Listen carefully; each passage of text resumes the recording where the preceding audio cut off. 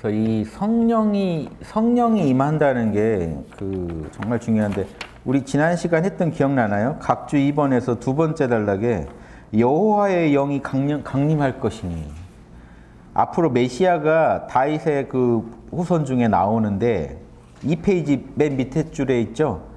여호와의 영이 성령이잖아요. 성령이 강림할 것이니 그 성령 안에 여섯 가지 이제 특징이 있습니다. 같은 영이에요. 근데 나눠서 얘기하면 이렇게 여섯 개로 또 쪼개져요. 여호와 영이 강림하는데 지혜의 영이에요. 여러분 성령은요 지혜의 영입니다. 진리를 보여줘요. 여러분 마음 안에 이 혼이 이 혼이 일반적으로는 여러분 혼이 지혜가 없습니다. 그래서 특히 이렇게 현상계에 대한 지혜는 그래도 경험하다 하다 보니까 얻은 게 있어요. 뭐 라면 맛있게 끓이는 지혜. 뭐 이런 거 나름 이것도 못, 얻, 못 얻을 수도 있지만 현상계 안에서 우리가 노력하면 조금씩 얻는데 이건 지금 영적 지혜를 말합니다. 하나님에 대한 지혜를 보이지도 않은 하나님에 대한 지혜를 얻기가 쉽지 않단 말이에요. 그래서 이 지혜를 갖고 있는 분들은 이제 예언자들이죠. 사실은 도인들인데 혼이 이게 없는데 성령이 강림하면 이 성령의 이 은총으로 지혜가 생긴다는 거예요. 지혜의 영이라는 것은 성령이 강림하면 우리도 하나님의 속사정을 이해하게 돼요. 이게 신비죠. 기적이죠. 내가 이해가 안 됐는데 어느 날 보니 이건 자명하게 옳은 일이요. 내면에 자명과 찜찜의 신호로 옵니다. 이 지혜에 부합하면 자명, 아니면 찜찜하다는 신호가 남다른 신호가 와요. 예전에 나는, 우리 에고는요, 이 혼, 혼은 에고의 작용이죠. 이 에고는 자기한테 유리하면 자명, 자기한테 불리하면 찜찜 이렇게 얘기합니다. 내가 익숙하면 자명, 내가 낯설면 찜찜. 그러니까 에고 기준으로 철저히 자명, 찜찜, 옳고 그름을 가르다가 보편적 우주적 관점에서 이건 옳은 일이야 라는 그 관념이 생긴다는 건요. 성령이 임해야 됩니다. 근데 우리도 가끔씩 그럴 때 있, 지 않나요? 성령이 드러날 때요, 사실은. 우리 안에 성령이 이미 임해 계세요. 그러니까 우리가 지금 숨 쉬고 살죠. 생각하고 울고 웃고 지금 저를 보고 계실 수 있는 거예요.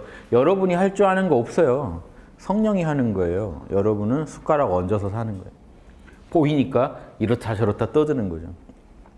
성령이 보여주니까 흥분해가지고 나 저거 계속 볼래 해서 또 그리 가서 그 집만 계속하고 자기 마음에 드는 것만. 근데 하나님이 이걸 보여줬을 때 하나님의 뜻이 있을 거란 말이에요. 그거 읽어내는 게 이게 지혜입니다. 하나님 이걸 왜 이런 삶을 나한테 보여주셨을까? 영적으로 볼 수 있게 해주셨을까? 여기서 난 어떻게 사는 게 자명할까? 요거 알아내는 게 자명, 이제 지혜입니다. 자명한 진리를 알아보는 지혜. 지혜의 영이고 총명의 영이고 그걸 이해한다는 게 머리가 좋은 거죠. 모략. 그래서 하나님의 뜻을 구현하기 위해서 꾀를 쓸 수 있게 해줘요. 욕심의 모략이 아니고 하나님의 뜻을 구현하려다 보니까 사람들한테 내가 어떻게 처신해야겠다 이런 모략이 나와요. 이 모략은 양심에서 나오는 모략이라 다릅니다. 질이. 그 다음에 권능의 영이에요. 진리가 옳, 다 그러면요. 그걸 실천할 수 있는 힘도 나한테 있다는 거 이미. 남을 사랑할, 사랑하는 게 옳다는 걸 알아볼 지혜의 영이 임해 있으면 여러분요. 권능의 영, 그걸 실천할 수 있는 힘도 있어요. 여러분이 마음 먹으면 여러분 욕심이 아무리 방해해도 이 권능의 영이 사랑하라. 남을 나처럼 사랑하라. 내가 당해서 싫은 건 남한테 하지 마라.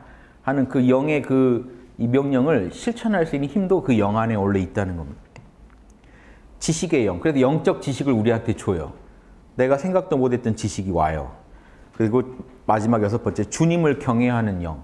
이 영은 항상 주님과 주님께 경배하고 주님한테 머리 숙이게 우리를 해줍니다. 우리 에고가. 에고로 하여금 주님께 경배하게 하는 영이에요. 자, 그러니까 항상 하나님과 함께 하겠죠. 뭐 생각해 보세요. 이 성령이 임했으면 어떨까요? 항상 주님을 경외하게 되겠죠. 우리 혼이. 혼이 그렇게 변한다는 거예요. 영은 눈에 안 보여요. 근데 이, 이 영이 지혜의 영이다라고 말할 수 있으려면 혼이 지혜로워져야 돼요. 혼이 영적으로 지혜로워집니다. 올바른 판단력을 갖춘다는 거예요. 지혜는.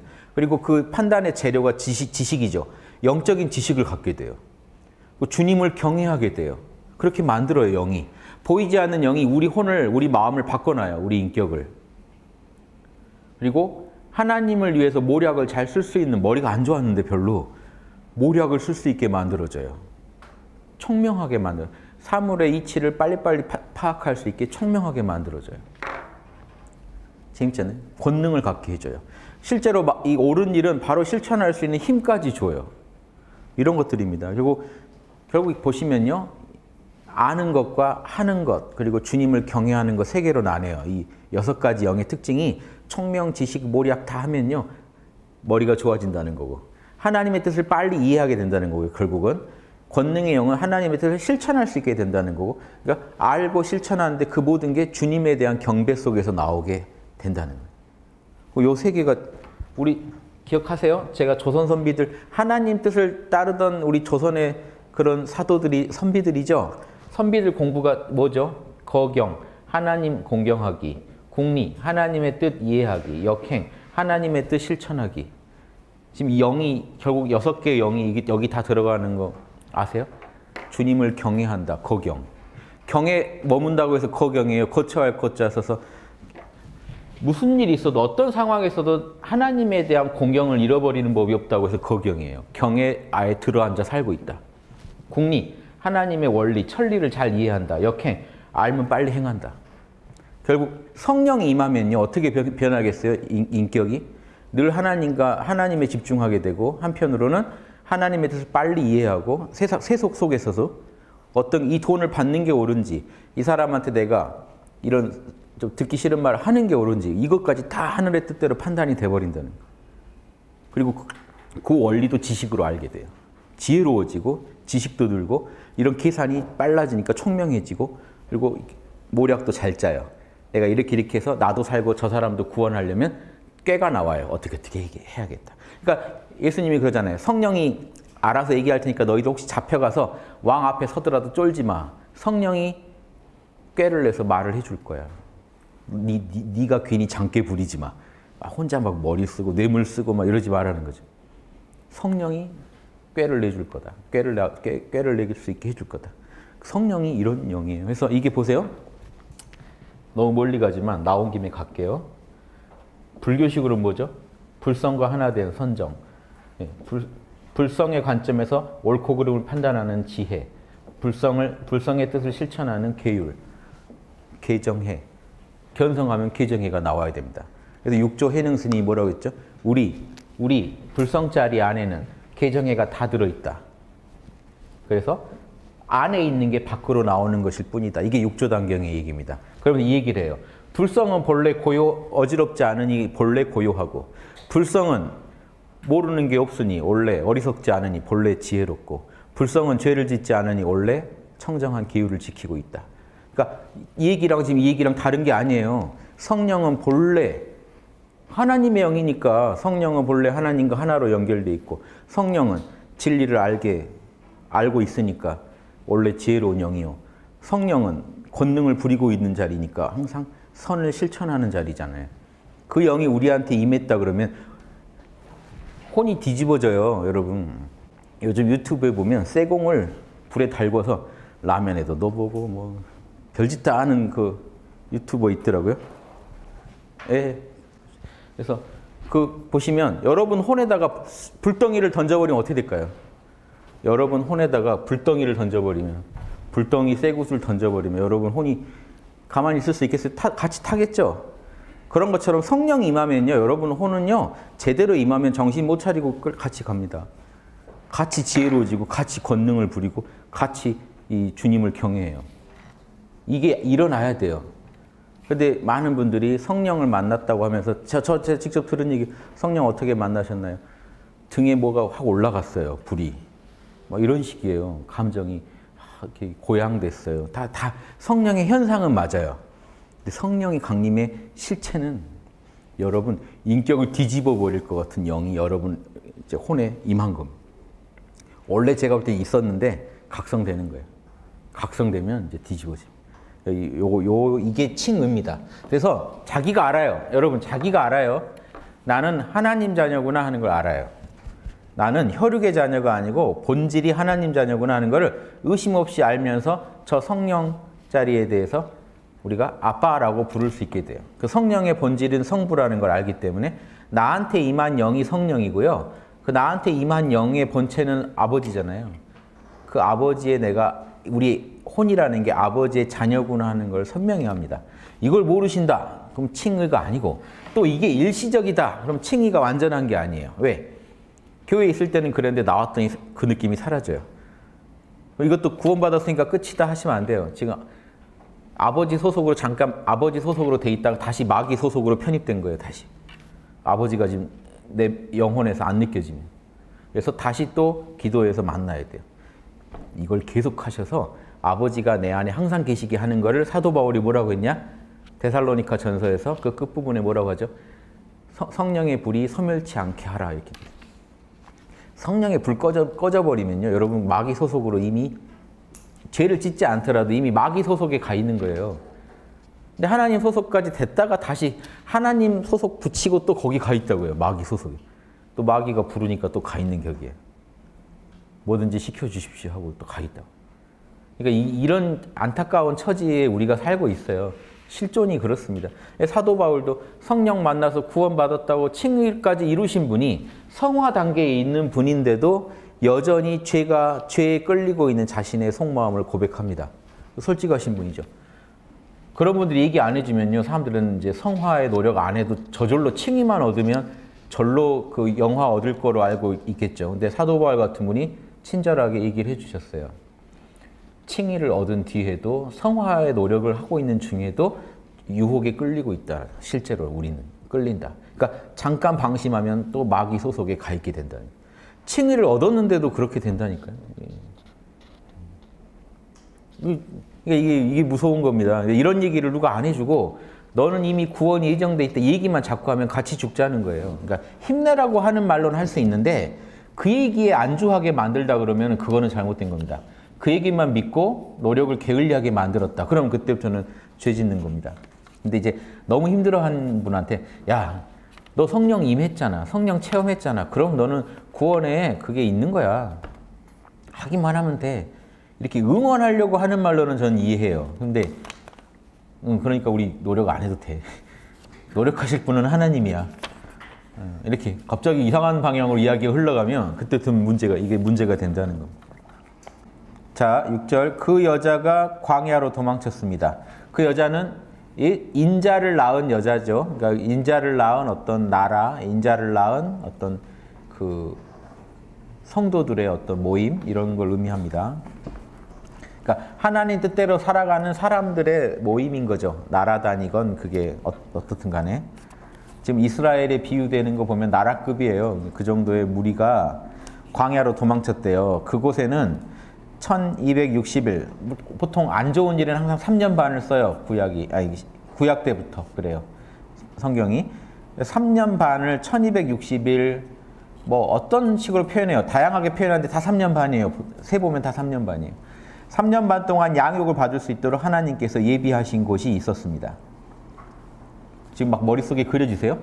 여자가 아이를 낳는데 아이는 하나님한테 바로 들, 들려 올려지고 지금 사탄이 그 여자 잡겠다고 지금 쫓아오고 있는 거예요. 그래서 피해서 그 용이 용이 쫓아오니까 피해서 광야로 도망쳐서 3년 반 동안 양육 받을 수 있게 그 하늘이 미리 예비를 하셨대요. 여자가 광야에서 도망쳤다. 광야로 도망쳤다. 이스라엘들한테 광야는 광야는 어, 새로운 하나님의 자녀로서 살 수 있는 새로운 문화를 배우는 곳이고 거기서 40년간 그 이스라엘들 배웠단 말이에요. 그리고 가나안 땅에 들어가거든요. 이집트 탈출해서 거기에 상응하게 지금 3년 반 동안 3년 반 동안 양육을 받는다. 이게 통합니다. 그 이스라엘인들 예전에 출애굽했던 상황과 통해요. 이집트에서 벗어났던 상황. 진짜 이 새 이르사 새 이스라엘이 인자를 맞이할 준비를 광야에서 3년 반을 해야 된다. 이렇게 읽으시면 좋겠어요. 그래서 우리 민족이 예전에 일제 치하에 하필 또 만주로 가서 만주라는 광야에 가서 35년간 음, 우리 36년 하지만 실제로는 35년이에요. 그 연으로 딱 기간을 정확히 재면 만 35년 될 겁니다. 그래서 그 기간 동안 우리가 만주에서 그것도 재밌는 게 대종교라는 게 나와가지고 갑자기 하느님 우리 고유의 하느님 신앙이 다시 부활했습니다. 독립운동 한 분들이 다 하느님 신앙하면서 독립운동했어요. 대종교가 모든 독립운동의 메카였어요. 센터였어요. 예, 우리가 아는 그 북로군정서, 그 청산리 대첩도 다 그때 제일 사령관은 대종교 종사, 종사님이셨어요. 서일 장군이라고. 장군이면서 그 대종교의 그 3대 종사님 중에 한 분이에요. 대종교 유명한 경전들은 그분이 썼어요. 그 정도의 그 하느님 신앙을 갖고 다 그 부하들이에요. 김자진 장군이나 이런 분들이 다 대종교도들이었어요. 대부분. 그러니까 하느님을 위해서 우리 다시 하느님 나라를 다시 세우자는 정신으로 독립운동을 했어요. 그때 실제로 환국을 다시 세우자. 홍익 인간하는 홍익 인간을 구현하는 신실을 다시 이 땅에 세우자 하고 만주에서 투쟁하셨어요.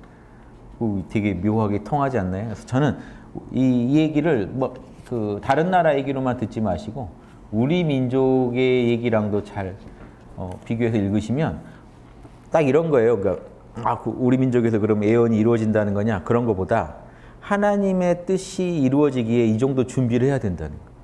광야에서 3년 반이라고 했지만 그게 실제로 얼마인지도 모르죠. 상징적인 숫자입니다. 안 좋은 일에 꼭 3년 반을 주로 써요. 꼭 그런 건 아닙니다만 3년 반 동안 고생 속에서 하나님 뜻을 지켜간다는 뜻이 있는 겁니다. 그런 노력을 했을 때 이 여자가 새 이스라엘로서 하나님 뜻을 온전히 구현하는 새로운 이스라엘로 거듭나겠죠. 옛, 옛 이스라엘에서. 그래서 우리가 혈육의 관점에서 보지는 마시고 다만 또 우리 민족에서 통하는 부분이 있으니까 같이 겸해서 말씀드렸습니다. 자, 7절 하늘에 전쟁이 있으니 천사장 미카엘과 그의 사자들이 그의 부하들이 용 사탄과 더불어 싸웠고 또 사탄과 그의 부하들도 맞서 싸웠습니다. 옛날 얘기를 갑자기 하는 거예요. 이 용 얘기를 하려다가 용이 어떤 존재냐? 옛날에 원래 천사였는데 그, 그 지금 하나님한테 대항하다가 지금 사탄이 됐다는 얘기 있잖아요. 그 얘기를 잠깐 소개한 겁니다. 그래서 그 용과 그 부하들이 못 이기고 하늘에서 그들이 있을 곳을 얻지 못하여 땅으로 쫓겨났다는 겁니다. 땅에 와서 이렇게 세력을 부리고 있다. 그 큰 용이 쫓겨났으니 그 큰 용이라는 게 옛날 그 아담과 이브 때 그 뱀이고 그게 마귀라고도 하며 사탄이라고도 하는 온 천하를 꿰는 자다. 이브를 꿰잖아요. 요 사과 먹어라. 그 선악과 먹어라. 꿰던 그 마귀. 인류를 늘 잘 꿰가지고 하나님 뜻 어기게 만들었던 그 존재. 우리 내면에 하나님 뜻의 어, 뜻을 어기고 싶은 마음이 있죠. 그거 다 마귀의 영이 시키는 거라는 겁니다. 그러니까 이 마귀의 영을요. 저는 그래서 뭐 따로 마귀가 있다고 보실 게 아니라 인간 마음 안에 있는 어둠의 요소예요. 하나님 뜻을 어기게 만드는 그 힘. 그거를 그 마귀의 영이라고 보시면 되겠습니다. 근데 아무튼 그 마귀를 좀 더 실체화해서 얘기하고 있는 거예요. 그 마귀가 땅으로 쫓겨났으니 그의 부하들도 함께 땅으로 쫓겨났다. 예전에 그런 일이 있었다.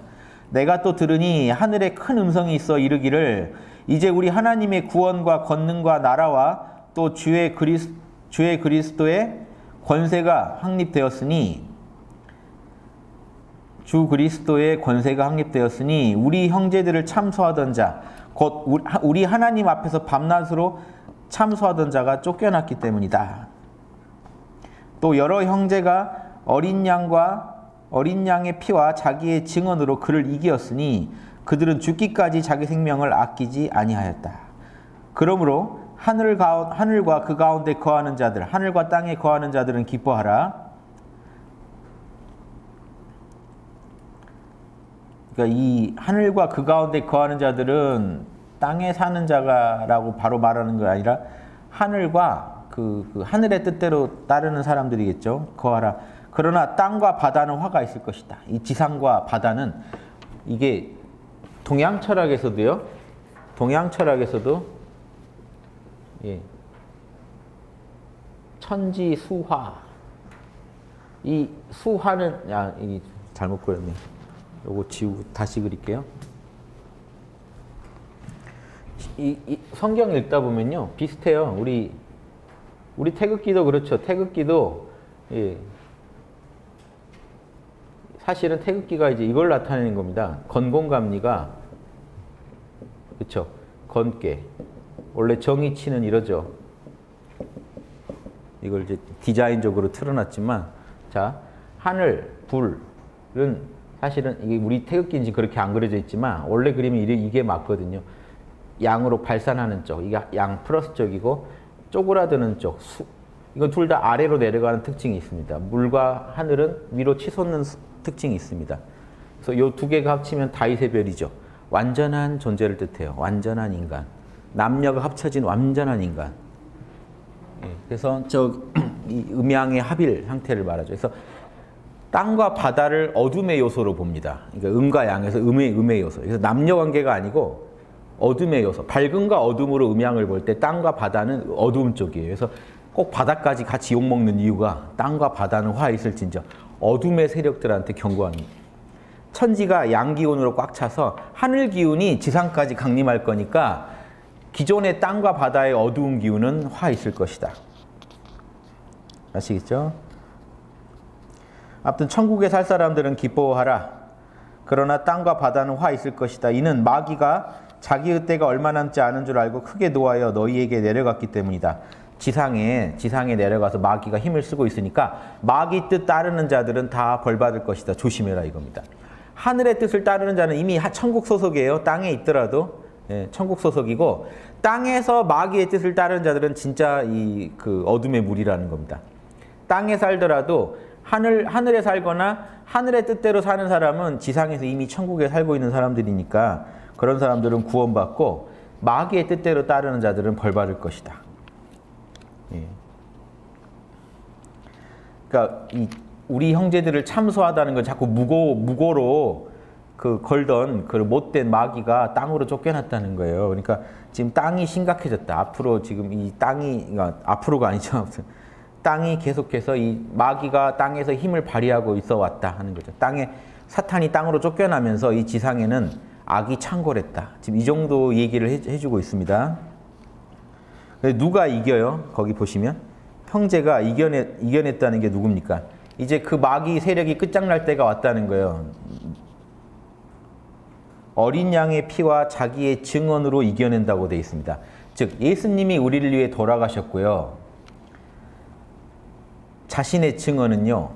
예수님의 피는 보세요. 지금 여러분이 성도예요. 예수님이 여러분을 위해 피를 흘려주셨기 때문에 여러분이 예수님을 믿음으로써 예수님이 나를 위해 돌아가셨음을 믿음으로써 성령과 만납니다. 성령이 강림받는 거예요.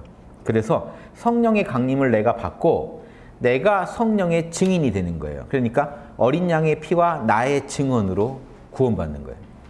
합작입니다. 예수님의 예수님이 그냥 무조건 다 해주실 수 있으면 예수님의 피만 얘기했겠죠. 근데 자기의 증언이라는 게 뭘까요? 예수님의 피로 인해서 내가 구원을 받아서 하나님의 증인이 되는 거예요. 내가 하나님의 증인이 뭐, 뭡니까? 하나님 뜻을 말해주고 예언자죠. 하나님의 뜻을 내가 내 입으로 전하고 하나님이라면 이렇게 하셨을 것이라는 걸 보여줘야 돼요. 행실로. 그게 증언자입니다. 이렇게 사는 사람만이 이겼다. 그들은 왜냐? 자기 생명을 아끼지 않아서 순교의, 순교 정신이에요. 죽기까지 죽더라도 나는 하나님 뜻 따르는 것을 가장 중시한다 하는 그걸로 인해서 구원받는다. 그러니까 구원자는 간단합니다. 성령을 예수님을 통해 성령 강림이 이루어지고 성령 안에 살아가고 성령의 현존을 체험하면서 하나님 뜻대로 자기가 증인이 돼가지고 예수님이 하셨던 것처럼 하나님의 뜻의 증언자가 되는 거예요. 하나님은 이렇게 말씀하셨어. 하나님은 이렇게 살라고 하셨어. 이걸 몸으로 보여주는 분이 구원자입니다. 이분들은 구원받아요. 그래서 갑자기 시기 구분이 좀 헷갈리시죠? 이것만 좀 정리할게요. 이게 제가 볼 땐 이게 예전에 그 역사인데 지금 요한한테는 이게 그냥 현재 이야기인 것 같아요. 현 시점으로 풀어야 돼 맞을 것 같습니다. 이게 예전에 사탄이 쫓겨난 그 루시퍼가 쫓겨난 역사를 제가 얘기한다고 말씀드렸는데 그렇게 풀면은 좀 문맥이 조금 안 사는 것 같아요 맛이. 제가 다시 풀어드릴게요. 하늘에 전쟁이 있어서 천사장 미카엘과 그의 사자들이 용과 더불어 싸웠고 그 사탄하고 싸웠고요. 용과 그 부하들이 맞서 싸웠는데 하늘에 그들이 있을 곳을 얻지 못해서 땅으로 쫓겨났습니다. 땅으로 지금 쫓겨났어요. 그래서 큰 용, 옛날 뱀이라고 불리고 마귀라고 불리는 그 사탄이 쫓겨났습니다. 예, 그래서 이, 그게 왜 땅으로 쫓겨났느냐? 하늘은 하늘은 밝은 걸 상징하고 땅을 어둠을 상징하니까 땅으로 쫓겨났습니다. 그래서 하늘에서 이렇게 쫓겨나게 된 거는 우리 여러 형제들이 하나님의 뜻 안에서 어린 양의 피와 자기의 증언으로 이겼기 때문입니다. 그래서 이 짐승이 땅으로 쫓겨났습니다. 스토리 아시겠죠? 대충. 그래서 땅으로 쫓겨나서 땅에서 최후의 발악을 한다는 거예요. 땅에서 최후의 발악을 하는데 이때가 이제 무서울 때죠. 땅에서 최후의 발악을 할 때 그때 땅에서 이 마귀에 휘둘리면 안 된다 하는 얘기를 지금 하고 싶은 것 같아요. 옛날 얘기를 꺼내가지고 지금 현재의 얘기처럼 지금 요한이 하고 있는데 사탄이 땅에 내려온 건 옛날일 텐데 지금 현재 얘기처럼 하고 있어요. 사탄이 땅에서 최후의 발악을 하려고 하는 것 같다. 하늘에서 자기 자리를 완전히 잃었다. 하늘에서는 지금 예수님이 피를 흘리시는 바람에 예수님 피로 한번 성령의 세례를 받고 자기의 뜻으로 성령의 자기가 이제 성령의 뜻을 따르는 증언을 함으로써 스스로를 건져낸 사람들이 나와가지고 그 힘으로 사탄이 땅으로 쫓겼다. 땅에 내몰려서 최후의 발악을 할 것 같다. 그래서 그 용이 자기가 땅으로 쫓겨난 걸 보고 남자를 낳은 여자를 찾아가서 그 그러니까 아무튼 메시아를 낳은 여자를 핍박하려고 지금 찾아갔다. 스토리가 좀 이상하죠.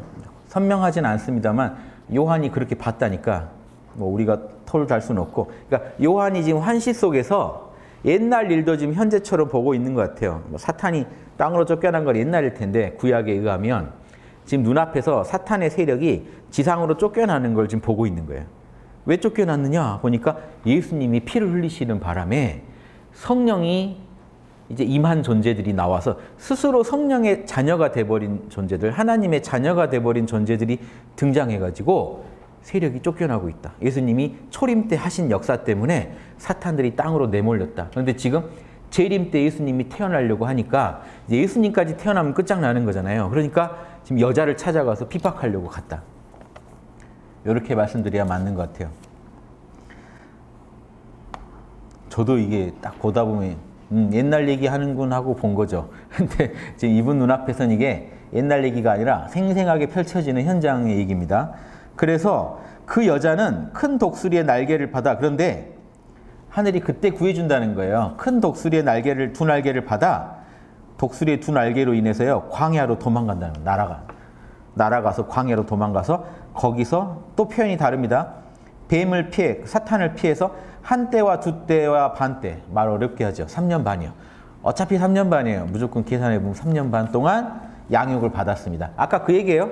광야로 도망가는 얘기를 다시 설명한 거예요. 지금 요한이. 자, 이해되시죠? 사탄이 하늘에서 2000년 전에 예수님이 재림 때, 일, 초림 때 인류를 위해서 자신을 제물로 바쳐버리시는 바람에 지금 누구나 예수님이 우리를 위해 돌아가셨음을 믿으면 성령이 강림돼 버려요. 예수님에 대한 확고한 믿음 속에서 의심 없는 믿음 속에서 우리 안에 있던 성령이 사실은 드러나는 건데 밖에서 성령이 강림한다고 느끼셔도 좋아요. 이 혼 너머의 차원에서 성령이 임한 거예요. 혼의 차원으로.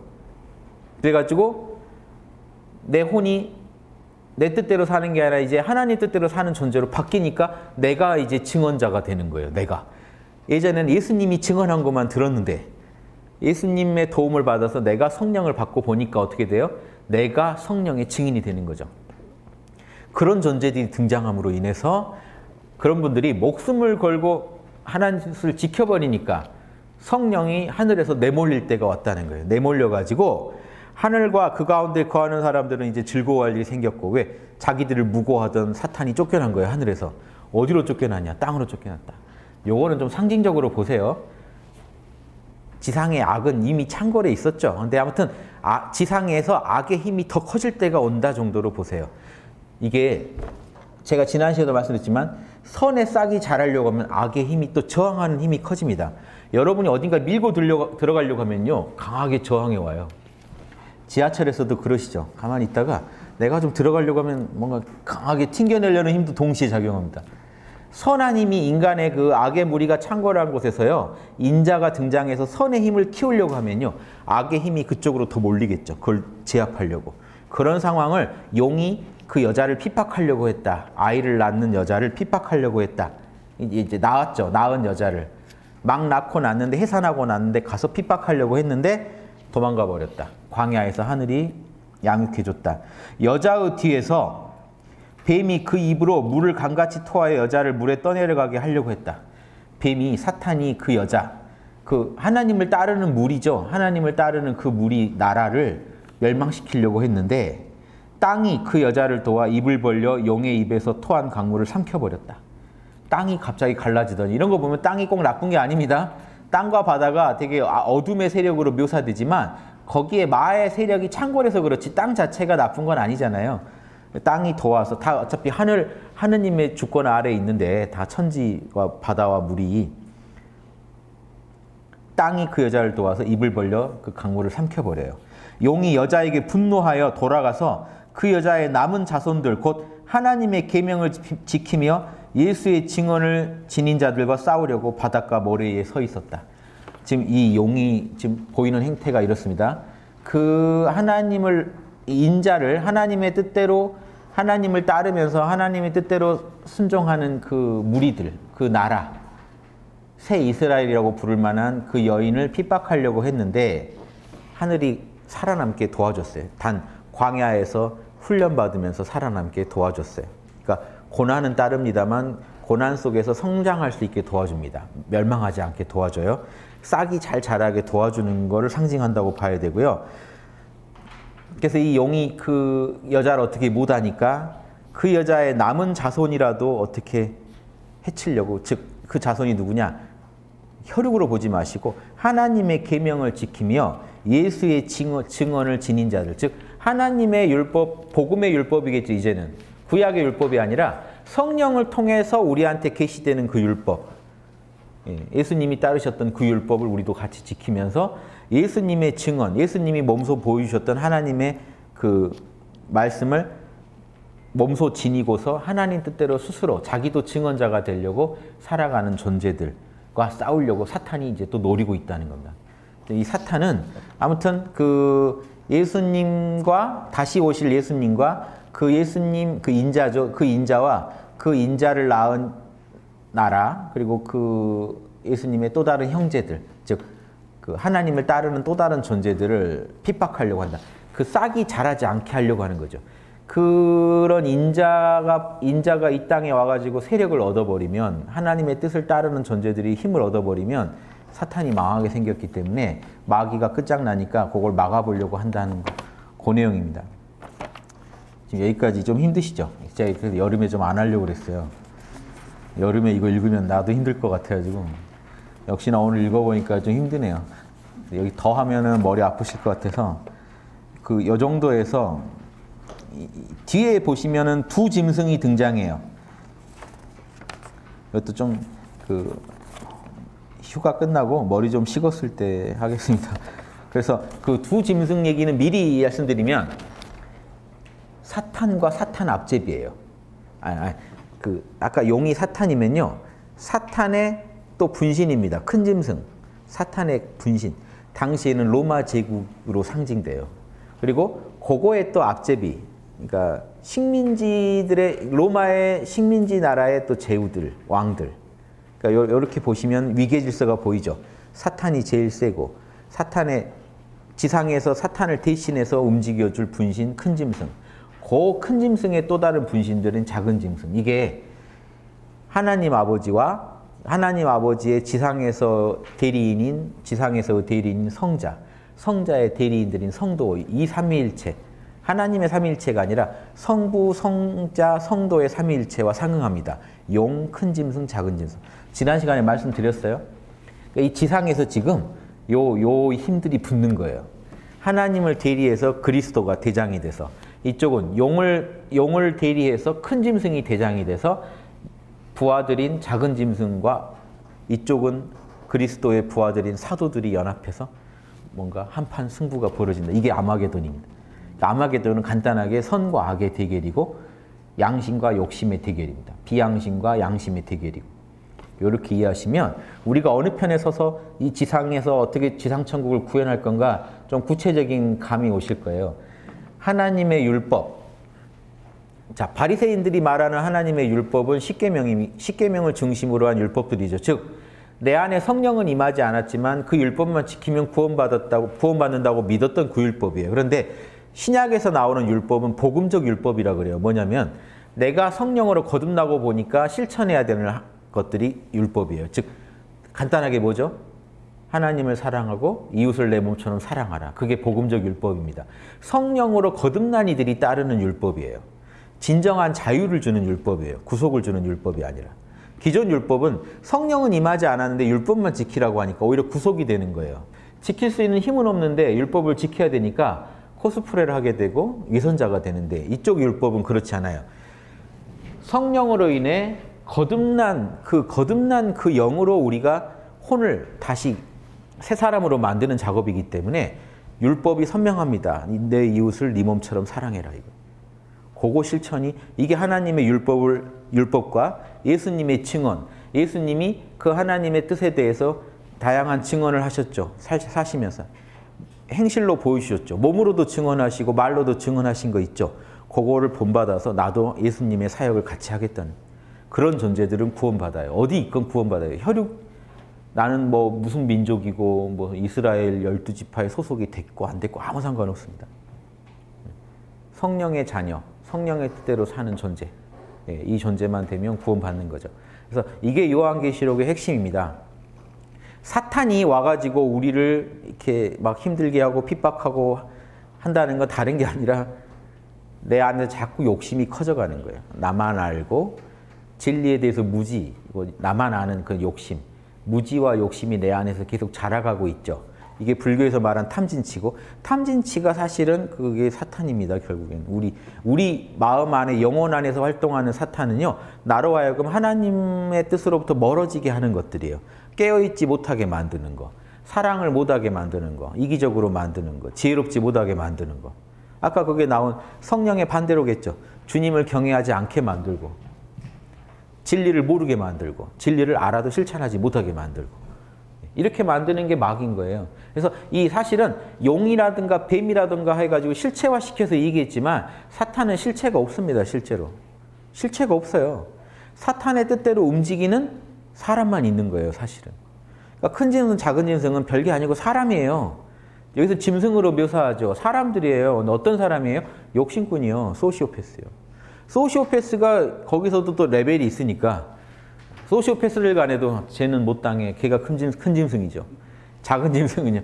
걔 앞에 가면 은 그러니까 왠지 나는 초라해져. 나 정도 소시오로는 거기 앞에 가면 나도 차마 저 짓은 못해. 그게 큰 짐승입니다. 그러니까 가장 강대한 세력을 가지고 그 그리스도교를 핍박했던 하나님 뜻에 어기, 어긋난 삶을 살았던 존재로 로마를 로마를 말하는 거예요. 로마가 그럼 로마가 다 악이냐? 그건 아니에요. 근데 당시 그리스도인들 이 예언이 될 때쯤에 그 로마의 악행들을 가지고 얘기하는 거예요. 세계에서 제일 큰 제국인데 소시오패스들이 황제 자리에 있으면서 하나님 뜻을 어기게 만들어요. 그리스도를 또 처형시켰잖아요. 로마에서. 이런 사례에서 볼 때 그리스도를 지금 처, 처형에 처형시킨 존재가 로마잖아요. 그러니까 로마의 못된 지도자들, 로마 제국, 그 강대한 로마 제국을 큰 짐승으로 상징하는 겁니다. 그러니까 향후에도 그러니까 이거예요. 지금 지금 로마 제국 없잖아요. 지금 이 시대에도 가장 큰 힘을 가지고 하나님 뜻을 어기면서 비양심으로 살아가는 조직이나 국가나 세력이 있고 인물이 있다면 그, 그, 자, 그 존재가 큰 짐승인 거예요. 그러니까 어렵지 않아요. 찾는 거. 여러분 누구 때문에 제일 힘드십니까? 찾아요. 인류가 지금 누구 때문에 제일 힘들지? 이게 찾아보면 저쯤이 있겠구나 큰 짐승이 알 수 있어요. 적그리스도가 거기 있는 거예요. 적그리스도가 짠하고 등장할 필요가 없어요. 이미 이미 인류는 힘들기 때문에 이 힘든 게 근원이 어디지? 우리 모두의 그 우리 모두도 이미 마귀의 자녀라고 볼 수 있죠. 비양심적인 일을 당연시하고 살잖아요. 소시오패스를 부러워하고 있으면 이미 여러분 마귀의 자녀입니다. 짐승의 도장을 받았다. 별거 아니에요. 손과 뭐 이마에 짐승의 도장을 받았다. 여러분 상당수가 소시오패스 권력자를 부러워하고 있습니다. 그 존재랑 자기를 동일시하고 있습니다. 여러분도 이미 작은 짐승 축에는 못 들어도 표를 받은 사람으로 살고 있을 수도 있다고요. 누가 양심적인 일을 하겠다는 사람, 아유, 양심해서 되겠어? 그럼 여러분 그쪽 소속에 가 있을 수도 있는 거예요. 근데 그 양심의 세력, 하나님의 율법을 따르는 그 예수의 증언을 본받아 자기 자신이 이미 하나님의 증언자가 된 존재들, 그 존재들이 세력이 약해도요, 이 힘이 커져가지고 지상천국을 만들어낸다는 게 요한계시록 내용입니다. 그러니까 대립 구도를 분명히 이해하세요. 큰 짐승, 작은 짐승, 그리스도가 다시 와서 큰 짐승은 그리스도가 이제 상대해 주시고 사도들이 또 작은 짐승을 상대해야겠죠. 이게 힘 힘의 그 균형으로 볼 때는. 실제로 요한계시록 보면 뭐 그렇게 힘도 안 써요. 예수님이 오셔가지고 입에서 막 칼을 뿜어내가지고요. 다, 다 잡아버려요. 작사를 냅니다, 그냥. 그냥 가서 그냥 밀고 들어가기만 하면 돼요. 사도들은. 예수님이 그냥 말, 말빨이신 건지 입에서 칼이 나가서 제압한대요. 제가 지난 시간에 말씀드렸죠. 팩트 폭격이 아닐까. 팩폭을 하면 막 진실이 드러나면 막 다 무너져가는 그런 어떤 상황을 묘사하는 것 같아요.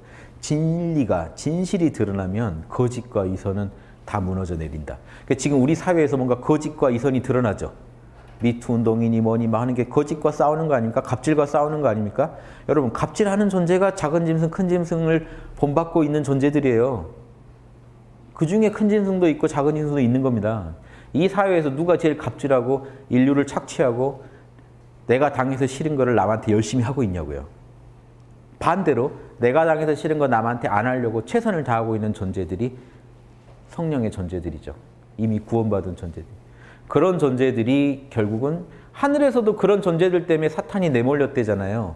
지상에서도 누가 그 끝내 끝장내겠습니까? 예. 성령 안에서 성령의 뜻에 구현자가 되는 존재들이죠. 끝장나는 거죠, 지상에서. 그 힘이 있어야 예수님도 힘을 받아서 하시지 않겠어요? 추수하려고 내려오신다고 그랬는데 추수할 게 많아야 신이 나서 추수하시고 악을 처단하시고 하시겠죠. 예. 그래서 제가 지금 요한계시록 강의할 때 그랬잖아요. 우리는 지금 벼락치기가 필요하다. 벼락치기. 예수님이 언제 오시든 이미 준비돼 있어야 돼요. 예수님 딱 오셨을 때 이미 한 마음이어야 돼요. 성령 안에서 성령 뜻대로 살고 있는 존재는 예수님하고 이미 한 마음이에요. 한 성령이니까. 한 성령이니까 한 마음이죠. 이미 이미 여러분 예수님이 오시기 전에 성령 안에 살고 있는 분들은요. 예수님이랑 이미 한 팀이에요. 이미 한 팀으로 움직이고 있어요. 예수님하고 우리가 같은 성령에서 지령이 온다고요. 예수님이 성령이 하는 말은 내가 하는 말이야 라고 할 정도로 같은 지령이란 말이에요. 성령이 내 안에서 하는 말은 예수님 안에서도 똑같이 울려 퍼지는 진리라고요. 그대로만 살면 되는 거예요. 자명한 것만. 자명한 것만 실천하고 찜찜한 거 안 하고. 이런 분이 여러분 진짜 교회의 구성원이죠. 나 교회 다녀 뭐해 이런, 이런 거랑은 상관이 없습니다. 다른 얘기예요. 그분들은 현세에서 뭔가 누리시고 계신 거예요. 큰 교회를 통해 누리는 거. 큰 교회 다니는 그 인맥을 통해 뭔가 재미를 보시고. 그러니까 뭐 이렇게 자기 나름대로 이미 거기서 얻고 계시는 거예요. 하나님이 주고 싶은 건 그런 게 아니에요. 다른 거예요. 진정한 구원이죠. 진짜 하나님 자녀가 되게 만드는 거죠. 그래서 하나님 자녀가 권력을 잡고 헤게모니를 잡는 세상, 그게 지상 천국입니다. 고개 온다 하는 거고 지금 그런 인자가 배출되려 해산했다고 나오지만 그거는 저는 이거 환영이라 환시라 압축돼 있다고 봐요. 그 현재까지 지금 안 나왔으니까 그런 인자가 배출되는 그런 토양도 벌써 그 여자 그 그런 나라건 그런 모임이건 무리건 간에 이미 하나님 뜻을 따르는 무리들이 이미 있어야 돼요. 그렇죠? 왜 초림 때 이미 예수님이 다 해놓으셨으니까 그 뜻을 따르는 무리들이 있을 거 아니에요. 거기서 인자가 거기 임한다는 얘기예요. 거리 태어난다는 거는 인자가 거기 임해서 그 무리들을 이끌어 주신다는 거예요. 그러니까 예수님이 우리나라에 오셨으면 하는 분들 계시다면 우리부터 빨리 노력해서 하나님 뜻을 따르는 존재가 되려고 노력해야 돼요. 지금 교회 키우고 이런 거 신경 쓸 생각도 하지 마세요. 개척교회 광명인가 끝내주대요. 편의점보다 많아요. 그, 그 작은 지역에 교회가 막, 막 1, 2층이 교회 막 이런 식이에요. 막 서로 마주보고 있고. 모든 개척교회들이 그 교회 벨리라, 뭐 실리콘밸리처럼 교회가 거기 모여 있는 것 같아요. 그래서 어마어마하더만요.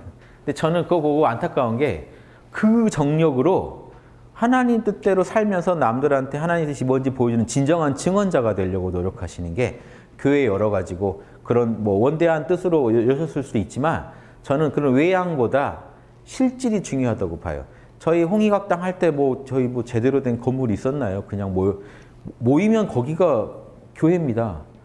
저기 버거킹에 모이면 버거킹이 교회예요. 여러분 성령 임한 사람들이 버거킹이고 맥도날드가 가서 앉아 계시면 거기가 신성해지는 겁니다. 교회가 아무리 멋져도요. 거기 성령이 임한 분이 안 계시면 거긴 텅 빈 거랑 똑같은 그렇게 초라할 수가 없어요. 도인 빠지면요. 절도 텅 빈 것처럼 돼요. 도인 돌아가시면. 도인 한 분 계시면 절이 꽉 차요. 재밌죠? 도 얻은 분이 한 분 계시면 초라한 절도 빛나고요. 아무리 화려한 절도 거기 도인 없으면요. 그냥 돈, 돈지랄이라고 해도 되네. 그냥 그거죠. 그게, 그게 뭡니까? 그건 철저히 현세적인 거예요. 그냥. 영적인 게 거기 가, 가미되지 않으면 현세적으로는 의미가 있어요. 현세적으로는 크게 권위도 주고 많은 사람들한테 또 다른 뭐 또 이득을 주겠죠. 제가 말씀드리고 싶은 거는 영적으로는 그게 도움 줄 게 없다는 거예요. 영적으로. 아 조금의 도움은 있겠죠. 그런데 그 근본적인 도움이 될 수가 없다. 결국은 우리가 성령 안에서 답을 찾아야만 우리는 구원받는. 그거 도와주는 모임들이 지금 요즘 같은 시대에 교회인이 뭐니 그런 거 신경 쓰지 마시고 여러분 유튜브만 해도 별의별 진리의 강의들이 많지 않나요? 꼭 저희 강의 빼고도요. 사이비도 많고 진리도 많고 그래요. 근데 그때 좋은 건 뭐냐면 이제 사이버 사이버 교회 사이버 법당의 시대도 열렸다는 거죠. 나 있는 곳이 그냥 진리의 도량이 바로 될 수도 있다는 그런 사고의 전환이 가능해진 시대라고요. 이 시대에 구시대적으로 접근해서 그걸 해결하려고 하는 게 말이 되냐는 거죠. 앞으로 학교도 사라질 거다는 판에 인터넷이 지금 얼마나 그 유튜브나 인터넷이 얼마나 많은 걸 지금, 지금 바꾸고 있습니까? 앞으로 학교도 완전히 질적으로 변할 거예요. 그러면 오히려 오히려 이런 종교 단체들도요. 절에 절이라고 부르는 승가라는 것도 원래 깨달은 자들 모임이에요. 어떤 특정 지역이나 이런 건물이 아니라고요. 그냥 숲에 숲속에요. 원래 승가에 들어가려면 수다원가 이상이어야 돼요. 열반 체험자 이상부터 승가입니다. 원래 초기경에. 그러니까 도인들 모이 도인들이 앉아서 이러고 있으면 거기가 승가인 거예요. 똑같아요. 하나님의 자녀들이 모여서 교류하고 있으면 거기가 교회인 거예요. 원형으로 오히려 돌아가자는 거죠. 원형으로 돌아가라. 한 2000년간 이상한 짓을 많이 해왔어요. 그거 버리고 원형으로 돌아가라.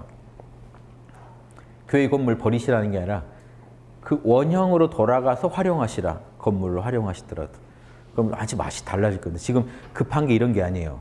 성령 안에 나부터 빨리 구원을 얻어야 되고 나, 내가 증언자가 돼야지 여러분 나도 구원 못 받았는데 남 뭐 물고 늘어진다고 안 됩니다. 내가 증언을 해줘야 될 거 아니에요. 내가 성령과 함께 살아보니 이렇더라라는 얘기를 예수님처럼 해주시면 돼요. 내가 말하고 행동하는데 성령 뜻대로 살고 있다. 그랬더니 요즘 이렇게 살고 있다. 너도 나의 내 삶을 보면 알 거 아니냐. 요 말 정도 해 주셔야죠. 예수님 같지는 못하더라도 비슷하긴 해야죠. 요게 원형입니다. 이런 자들이 많아지는 곳에 인자가 임할 거고 인자가 임해서 그 무리들과 함께 아마게도는 승리로 이끌 거다. 이런 스토리로 아시면 왜냐하면 대한민국에서 지금 예수님 여기 오셨다고 해서 재림 예수만 한 100명 된대요. 지금 대한민국에. 재림 예수 오디션 같은 거 한번 해야 되지 않을까 저 같은. 재, 재림 예수 선발전. 그래서 탈락입니다. 그래서 한 번씩 한 번씩 보내고 뭐 이렇게 퀴즈 내서 보내고 해보라고 해서 성령 뜻대로 사는지 보고 보내고 구별하고 해야 될 정도의 지금 대한민국만 해도 재림 예수의 각축장이에요. 장난 아니에요. 후보생들이 너무 많아요. 근데 진짜 여기가 그런 위대한 영적 강국이 되면 좋겠다는 거는 저도 소원입니다. 한류처럼 전 세계에게 이것이 성령이고 이것이 양심이다라는 걸 보여줄 수 있는 민족이 되기를 간절히 바랍니다. 교회가 아주 그렇게 우리나라 들어와서 융성했던 것도 저는 그런 인연도 있어서라고 보, 고 싶기도 해요. 모든 종교가 우리나라 와가지고 다 성했습니다. 왜? 우린 종교의 그 본질을 알고 있거든요. 우리 민족은.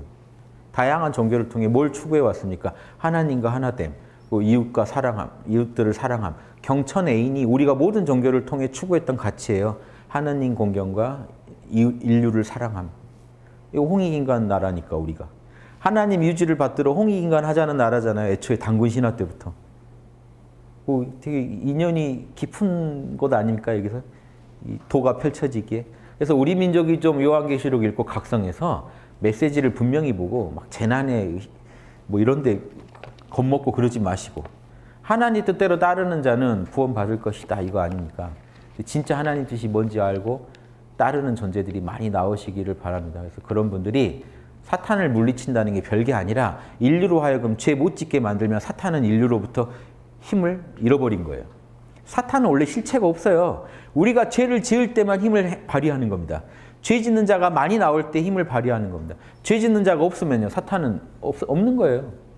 그냥 없는 거예요, 실제로.